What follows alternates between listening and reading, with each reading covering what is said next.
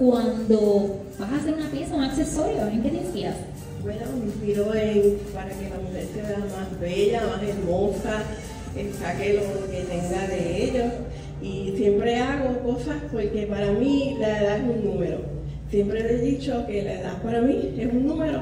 Cualquier mujer puede ponerse minifalda, lo que sea, siempre que ella se sienta segura de sí misma. Por ejemplo, ya yo cumplí este año 60 años. Entonces, todo el mundo, te lo digo, eso es. Y pues yo me pongo lo que a mí me gusta ya. Y me inspiro a que la mujer pues se vea más joven, más juvenil, hermosa como somos todas.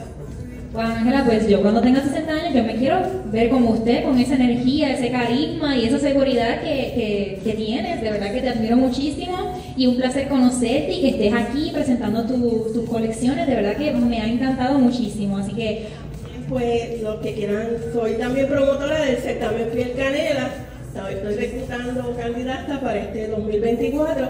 Todas las que quieran participar, pues pasan donde mí, yo le cojo el nombre, el teléfono y se lo doy a la dueña de la franquicia, a la señora Maribela Ponte, y ella lo llama y se comunica y le escribe.